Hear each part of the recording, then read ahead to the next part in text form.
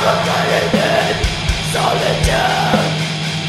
There is no light at the end of the